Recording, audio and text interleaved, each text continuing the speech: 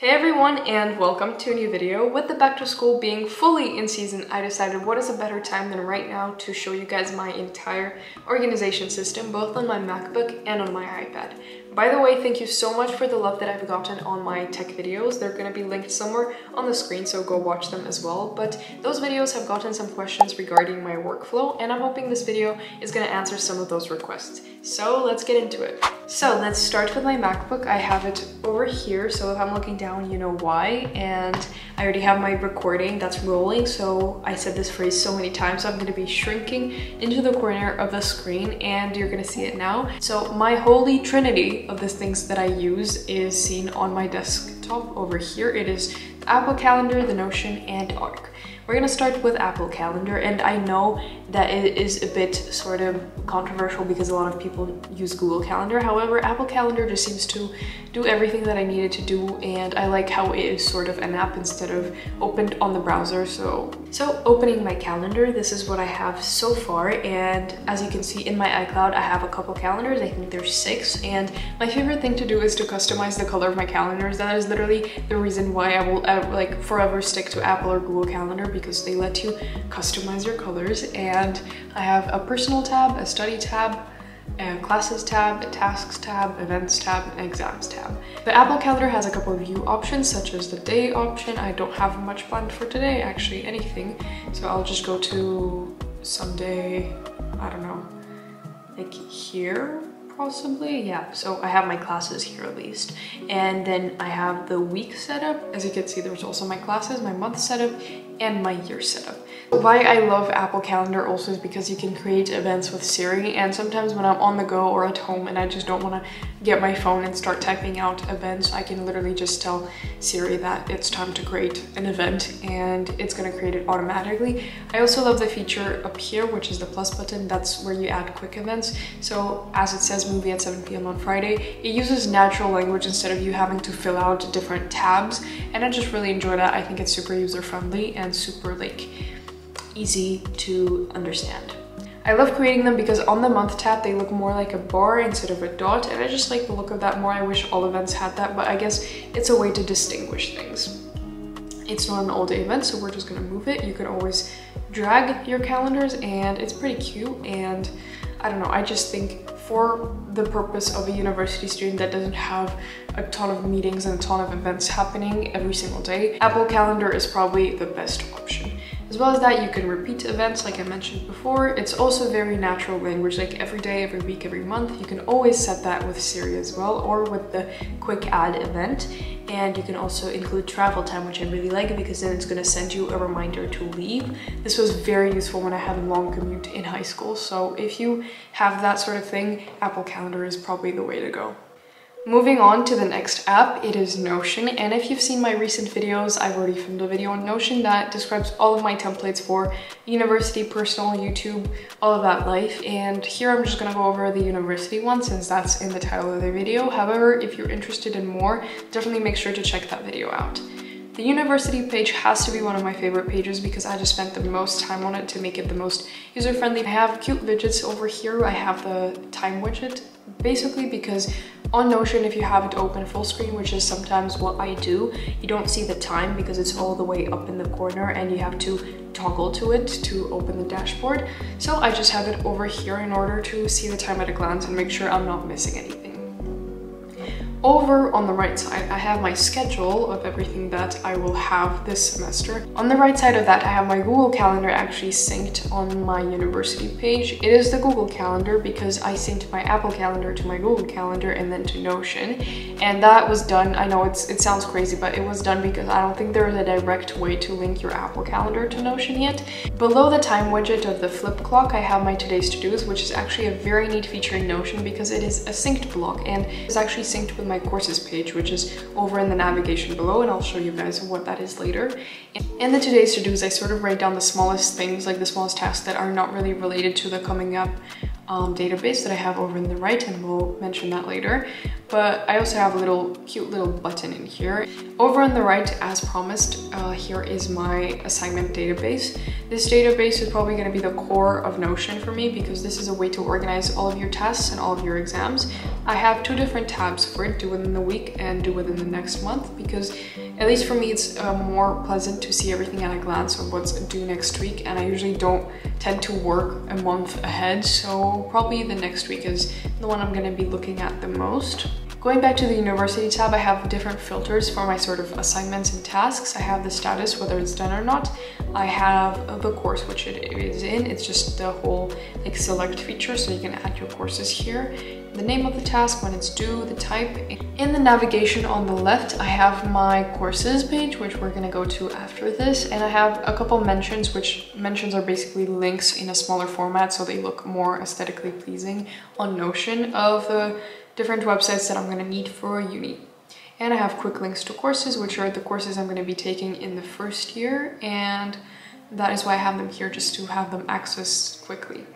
Let's go over to courses. I have this nice little cover, also from Pinterest, obviously, and this icon of a book. I have a coming up, also links over here, and I have different little images here to make this page more nice looking. Uh, over here I have a widget of Spotify. It is very easy to do. You just go onto a playlist on Spotify, you like click the share button, click embed, and that's how you paste it into your Notion to look this way. And you can control the music you're playing off of Notion, which is super useful. So I also have my today's to do synced block. So now I can finally show you guys what it does. For example, if we add a new task and say film anything really, it's gonna sync hopefully it's going to sync to the university tab. And of course, if you mark it as finished, you can go back to courses and see that there it is finished as well. So that was my university page and that is why we're gonna go over to the next app that I use and it is Arc. I talked about this so much in my unboxing video because I was so excited to use it and this definitely has lived up to its expectation because I can get to split up my life in different sort of pages. And that to me is very important because I really hate when something university wise pops up on my YouTube page and then I'm like what am I even doing?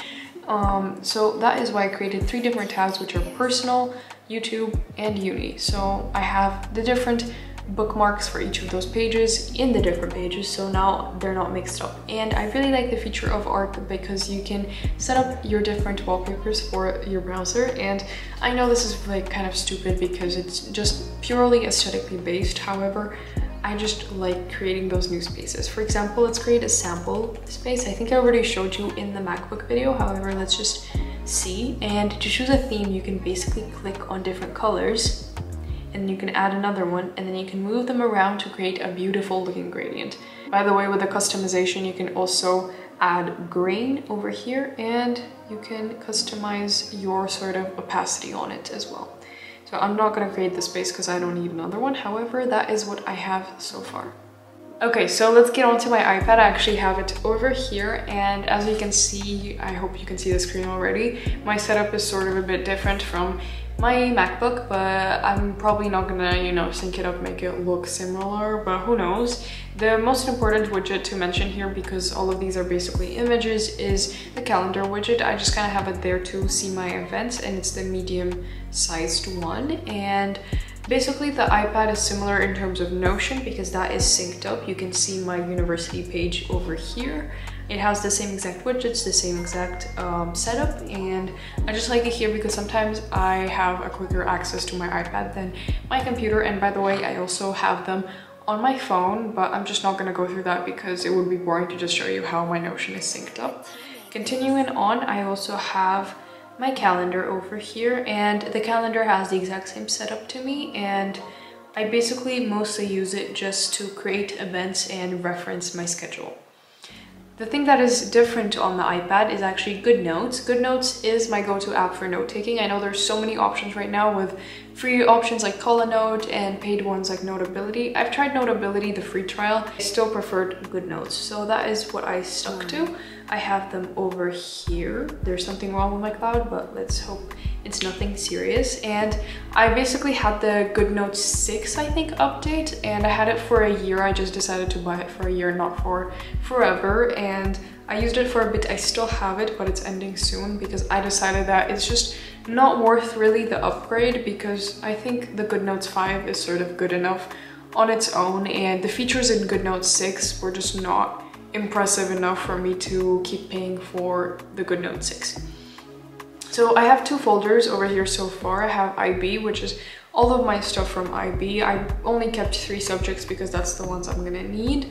And I created a new folder just to keep myself organized for the university. And that's just the first semester of things that I'm gonna need to take. Customized one notebook so far. It is the math notebook. If you're wondering how I did the little cute Muji setup, I think it's so much better than the default um, GoodNotes stuff. So let's just get on to that. I'm gonna create a normal notebook just to show you guys the options that they have. This is what comes with GoodNotes 6, by the way. I think it looks a bit different on GoodNotes 5. And you can basically customize all of your colors and you can make custom themes as well, which I found cute. And, you know, if you need that, if you really want that, it's the way to go. However, I just think creating different notebooks like this, it doesn't matter what sort of theme you choose, you can just input this as an image. So this Muji cover is an image downloaded from Pinterest, obviously. And for math and most of my subjects, I use the squared sort of template and I customized mine actually, so I, it might run out by the time I get to uni.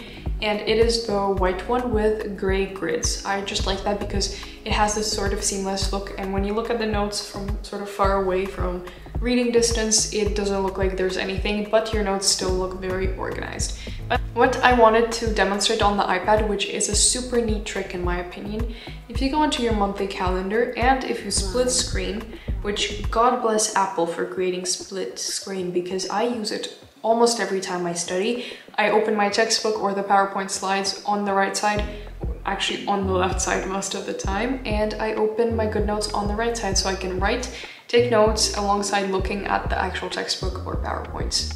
So the neat trick, the neat trick I was talking about, you go into your events. For example, let's take September 6th. I don't really know what's happening there, but okay, let's see. I have a class here. If you press and hold on the event and then you drag it over to GoodNotes, it's gonna duplicate it onto GoodNotes. And if you do use a GoodNotes calendar or something along those lines, it is super neat. I hope this video was useful for you and if you were the person that asked me the question about my workflow, I hope this somehow at least a little answered your request. And if you guys have any more requests or questions or things that you want me to show you and share about my organization or academic sort of life or any anything of that sort actually, please let me know in the comments down below and I'll definitely see what I can do. I'll see you in the next one. Bye bye!